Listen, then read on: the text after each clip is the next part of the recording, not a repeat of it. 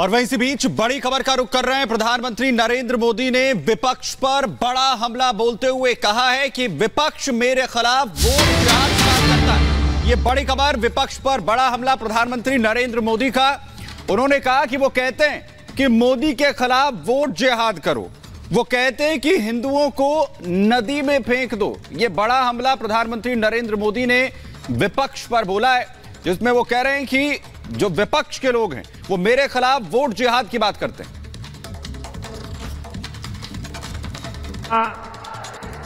जब बंगाल में एक से बढ़कर एक नए वैज्ञानिक खोज हुआ करती थी, आज टीएमसी के राज में जगह जगह बम बनाने की होम इंडस्ट्री चल रही है। एक समय था जब बंगाल घुसपैठियों के खिलाफ क्रांति किया करता था। लेकिन आज टीएमसी के संरक्षण में यहाँ घुसपैठिए फल फूल रहे हैं।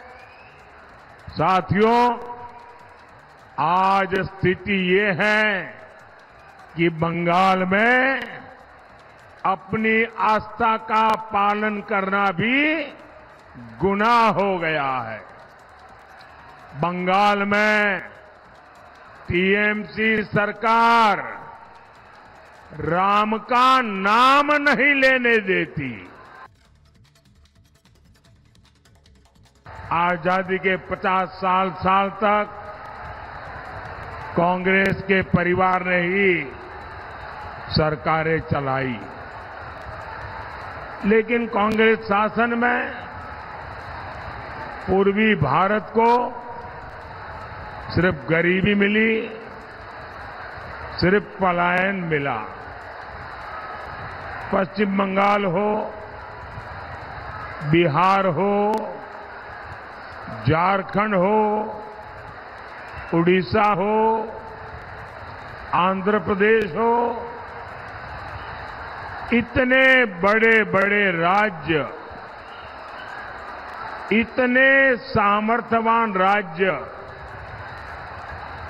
और ये राज्य ऐसे हैं किसी राज्य में अपार खनिज संपदा है किसी राज्य में कोयले के भंडार भरे हैं, किसी के राज्य में पास समुद्री की ताकत ब्लू इकोनॉमी पोर्ट की ताकत है। किसी के पास अथाह उपजाऊ भूमि है। किसी के पास पर्यटन के लिए पूरे देश में सबसे ज़्यादा पोटेंशियल है। बावजूद इसके कांग्रेस और इंडिया अलायंस के दलों ने पूर्वी भारत को पिछड़ा ही छोड़ दिया।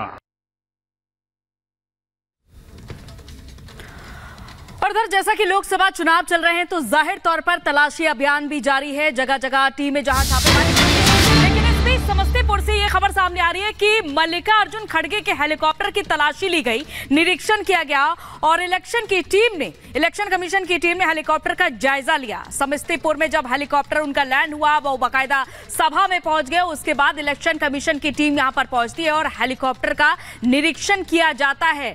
हालाँकि इस पर सवाल भी तरह तरह के उठाए जा रहे हैं, लेकिन वहाँ टीम का यही कहना है कि जो भी समस्तीपुर में आ रहा है, उसका दिशा निर्देश के अनुसार हेलीकॉप्टर का निरीक्षण किया जा रहा है।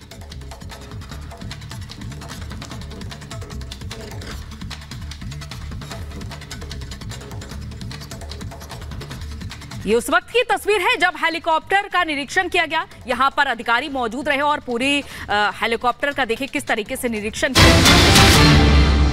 और वहीं बड़ी खबर आपको बता दें, बांदीपुरा में जहाँ पर सुरक्षा बलों को बड़ी कामयाबी मिली है, आतंकियों के एक मददगार को गिरफ़्तार किया गया है, चार पिस्टल हैंड ग्रेनेड डेटोनेटर को बरामद किया गया है। 200 से ज़्यादा एके 47 की गोलियाँ भी बरामद की गई हैं। बांदीपुरा में यह सुरक्षा बलों को बड़ी कामयाबी मिली है, जहाँ पर आतंकियों के एक मददगार को पकड़ा गया है। चार पिस्टल, हैंड ग्रेनेड और डेटोनेटर मिले हैं। 200 से ज़्यादा एके 47 की गोलियाँ भी बरामद की गई है। बांदीपुरा में सुरक्षा बलों की तरफ़ से ऑपरेशन किया गया, जिसमें आतंकियों को मदद पहुँचाने वाले शख्स को पकड़ा गया है और हथियार भी यहाँ पर बरामद किए गए। जम्मू कश्मीर में आतंकी ठिकाने का भंडाफोड़ हुआ है। रैसी में बड़ी संख्या में हथियार बरामद हुए हैं। नौ आईडी समेत भारी संख्या में हथियार मिले हैं। तो लगातार तलाशी अभियान जारी है क्योंकि लोकसभा चुनाव के बीच आतंकियों की घुसपैठ देखी जा रही है और इस घुसपैठ को नाकाम कर रहे हैं सुरक्षा बल। तो जम्मू कश्मीर में आतंकी ठिकाने का भंडाफोड़ किया गया है और तस्वीरें हैं आपके सामने। जब बड़ी संख्या में हथियार बरामद हुए हैं, जहाँ नौ आईडी समेत भारी संख्या में हथियार मिले हैं। लोकसभा चुनाव 2024 में आखिर प्रयागराज की जनता क्या हिंट दे रही है? इस ग्राउंड की रिपोर्ट के ज़रिए आपको दिखाते हैं। घाट पर हम हैं। यहीं पर आ, जो प्रयागराज से हम जानेंगे कि जनता का क्या है चुनावी मिजाज। हिंट लेने का लगातार प्रयास करेंगे। ये बताइए कि इस बार क्या हिंट दे रहे हो आप चुनाव को लेकर? वही मोदी योगी के। हाँ पिछली बार बीजेपी की प्रत्याशी यहाँ पर रीता बहुगुणा जोशी थी। इस बार नीरज त्रिपाठी हैं। क्या लग रहा है प्रत्याशी बदलना ठीक किया? अब हमारे लिए भैया देखो मोदी सरकार ने सब सुविधा दिए हैं। क्या क्या दिया बहुत से यहाँ महीने महीने में गल्ला देता है राशन देता है और कुछ गरीबन के पेंशन देता है जो महीने में आता है वो भी देता है। यहाँ लोग यहाँ खुश हैं सब। आप मुझे बताइए कि क्या कुछ सुविधा क्या कुछ बदलाव हुए हैं? बहुत सुविधा हुआ है रोड इतनी चकल हो रही है गैस मिला है सभी गैस मिला है? हाँ। चूल्हे पे खाना नहीं बनाना। नहीं नहीं तो क्या हिंट दे रही हैं आप? बहुत अच्छा है। किसको जितवा रही है इस बार? वही के। कौन? मोदी के। मोदी के? इतना बदलाव युवाओं ने देखा है। कुछ बदलाव नहीं है। और क्या हिंट दे रहे हो? इस बार अगले साल अच्छा। हाँ। क्यों? क्या मतलब कोई जॉब अब नहीं निकल रही है ऐसे ही। इसलिए। कोई वैकेंसी निकल रही है निकल रही यूपी का निकला था कैंसिल कर दिया। आप शेयर होल्डर्स के साथ कमिटेड हैं। आपको शेयर होल्डर्स का भी हित देखना है। आपकी कंपनी आगे बढ़ेगी तो शेयर होल्डर्स का हित बढ़ेगा। पहले और अब के आंकड़े जो हैं आप हैरान हो जाएँगे जी। 2014 में सरकारी कंपनियों का ग्रॉस रेवेन्यू करीब 20 लाख करोड़ रुपया था। और ये मैं देश आज़ाद हुआ तब से लेकर के बताता हूँ। 2024 में सरकारी कंपनियों का ग्रॉस रेवेन्यू 38 लाख करोड़ है यानी करीब करीब डबल डबल उसी प्रकार से सरकारी कंपनियों की नेट वर्थ 2014 में लगभग 9 लाख करोड़ थी। मेरे आने से पहले 9 लाख करोड़। आज 2024 में नेट वर्थ 18 लाख करोड़ है जी। तो 18 लाख करोड़ रुपया।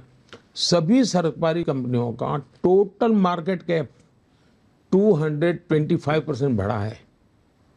मार्केट कैप 225 परसेंट बढ़ना जब दुनिया की इकोनॉमी नीचे जा रही है तब। 2009 टू 2014 इसके शेयर 6 परसेंट गिर गए थे वैल्यू आज सरकारी कंपनियों के स्टॉक बहुत बेहतर प्रदर्शन कर रहे हैं यानी जिसके आप पल, ऐसे ही सरकारी बैंकों का, सरकारी बैंकों का हाल क्या था साहब? फ़ोन बैंकिंग घोटाले की वजह से सरकारी 2008 में तो सबसे ज़्यादा हुआ। बैंकों की हालत एकदम से दुनिया का विश्वास, जब आपकी बैंकिंग से चरमाता है ना जब बैंक सिस्टम चरमरा जाए, दुनिया का विश्वास उठ जाता है जी भारत में बैंक के रुपये कम गए उतना नहीं, पूरी दुनिया हमारे साथ जुड़ने को तैयार नहीं होते। मैं चौदह में ये मुसीबत अनुभव करता था। 21 में से 11 बैंकें आरबीआई की निगरानी की सूची में थी, उसको डे टू डे मॉनिटर करना पड़ता था। आईबीसी कोड, कैपिटल इन्फ्यूजन मैंने काफ़ी पैसे डाले, सरकारी टैक्स पेयर के पैसे डाले, क्योंकि मुझे देश को बचाना था। हमने ये जो भ्रष्टाचार और जो फ़ैन बैंकिंग था, वो सारा खेल बंद बंद करवा दिया। एक लाख करोड़ से ज़्यादा आज बैंकों का प्रॉफिट है। और इन बैंकों का जन्म हुआ, तब से लेकर आज, उनका हाईएस्ट प्रॉफिट है जी, भारत की बैंकों का। एनपीए लगातार कम हो रहा है यानी जो लेकर के भाग जाने वाली संख्या है, वो लगातार कम होती जा रही है। ये सब रिफॉर्म, परफॉर्म, ट्रांसफॉर्म के उत्तम उदाहरण मैं बता सकता हूँ। मैं ये उदाहरण इसलिए बताता हूँ ताकि फाइनेंशियल वर्ल्ड या इकोनॉमी का वर्ल्ड जो है, वो इन्हीं चीज़ों से समझ पाता है। इसलिए मैंने उदाहरण ये दिया। आम आदमी को भी इससे जो आप बात कर रहे हैं बहुत उनके लिए रेलिवेंट होगा क्योंकि लोग कह देते हैं स्पीच में कुछ हाँ, विपक्ष के नेता कह देते हैं कि सरकारी संपत्ति बेचती है। तो ये जो उदाहरण आपने दिया है ये बहुत इस, इसका बहुत ही एक महत्व है। प्रधानमंत्री जी एक मुझे सवाल पूछना है भारत के युवा पीढ़ी के लिए आपसे। क्योंकि अभी 50 परसेंट से ज़्यादा पॉपुलेशन 25 से नीचे है। 60 प्रतिशत से ज़्यादा या पैंसठ, पैंतीस से नीचे, उनको कोई अनुभव नहीं है। प्रधानमंत्री जी, ये डेवलपमेंट क्या हुआ है? एक हो सकता है टेकन फॉर ग्रांटेड अप्रोच जो मोबाइल जनरेशन है, जिन जिन्होंने मोबाइल फ़ोन देखा है जब से वो, उनका जन्म हुआ है, वो टेकन फॉर ग्रांटेड कर सकते हैं। आप जो भविष्य की फ्यूचरिस्टिक इन्वेस्टमेंट थिंकिंग उसके बारे में बोल रहे हैं। बुलेट ट्रेन हो, गगनयान हो ये इंटरनेशनल स्पेस स्टेशन की बात हो रही है अगले आठ साल में। ये ये जो आपकी एंटी ग्रेविटी प्रोजेक्ट ये सारी जो प्रोजेक्ट्स हैं ये जिन्होंने अनुभव नहीं किया है कि भारत आज से 20 साल पहले कहाँ था, वो सुनते हैं कि नेता आके कहते हैं, उनको देखिए, कोई सरकार आ जाए, कोई फ़र्क नहीं पड़ेगा। भारत तो बढ़ता रहेगा, लगातार बढ़ता रहेगा नरेंद्र मोदी प्रधानमंत्री रहे नहीं रहे बीजेपी रहे नहीं रहे कोई भी सरकार आ जाए मिली जुली सरकार खिचड़ी सरकार भारत की प्रगति होती रहेगी। तो मैं चाहता हूँ इस पर आप जरा अपने फ्यूचर विजन को लेकर ताकि कोई भी पीढ़ी टेकन फॉर ग्रांटेड ना करे भारत के डेवलपमेंट को। इसको आप कैसे इसको एक्सप्रेस करना चाहेंगे कि जो फीलिंग है कि कोई भी सरकार आ जाए कुछ फ़र्क नहीं पड़ने वाला? पहले मैं जी। एक जनरल वे में बताता हूँ। देखिए जब हमारा देश आज़ाद हुआ तब दुनिया की इकोनॉमी में हम नंबर छः पर थे, भारत का स्थान छः पर था, हमारे इन महानुभावों ने सरकार ऐसी चलाई, सब बड़े बड़े महान विद्वान लोगों ने, कि हम ग्यारह नंबर पर पहुँच गए। दस साल में हमारे एक के बाद एक सुविचारित कदम, आज हम 11 नंबर से पाँच नंबर पर आ गए। अब कुछ लोग कहते हैं अरे भाई ये तो नेचुरल होने वाला है। होने वाला है। अब छः से ग्यारह हुआ वो था भाई। अगर नेचुरल होना था तो छः से पाँच होना चाहिए था चार होना चाहिए था। ग्यारह हुआ मतलब तुमने कुछ उल्टा किया। अब हम देखिए 2014 में कांग्रेस ने एक अनाउंसमेंट किया था। उन्होंने कहा था 2043 हम भारत को दुनिया की तीसरे नंबर की अर्थव्यवस्था बनाएँगे। ये उन्होंने 2043 कहा था। हमारी सरकार तीसरी पारी में तीसरे नंबर की इकोनॉमी बनाने का लक्ष्य रख करके चल रही है। मतलब कांग्रेस के हिसाब से पंद्रह साल पहले मेरा, एक तो मैंने प्रीफोन कर दिया और कार का मतलब इसके लिए मुझे मेहनत लगती है। अगर कांग्रेस की स्पीड से चलते तो मुझे लगता है कि ये तीसरे नंबर की इकोनॉमी आते आते हो सकता है। अर्नब का पोता शायद उसको पता समाचार मिलते कि हाँ तीसरे अनुभव पहुँचे। ये हाल हो जाता। दो दो तीन तीन पीढ़ी मिट जाती जी। और हम इतना तो देश का नौजवान उसको पुराना पता नहीं है। ठीक है देश के नौजवान को दुनिया का पता है। देश के नौजवान को अगर चीज़ें मिले तो मानता नहीं है लेकिन वो एनालिसिस करता है। ये अच्छी निशानी है। और मैं मानता हूँ कि देश के अब जो इस बार फ़र्स्ट टाइम वोटर है। हाँ। वो 2014 के पहले तो आठ साल का दस साल का बारह साल का था।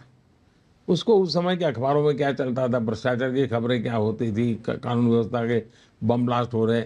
हर जगह पे बोर्ड लगे रहे। लावारिस चीज़ों को हाथ पर लगाओ।